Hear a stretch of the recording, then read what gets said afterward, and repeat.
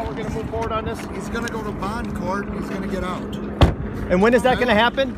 uh, tomorrow, whenever they schedule. And what about you? When are you going to give us some update on your feelings? Oh, Well, my Right? feelings on this is that is that they're making him a, a sacrificial lamb for their own sake, and there's no merit to any of this. It's all old, old Rico. So how are you going to turn it around? Will, will he be acquitted like he was the last time? Of course.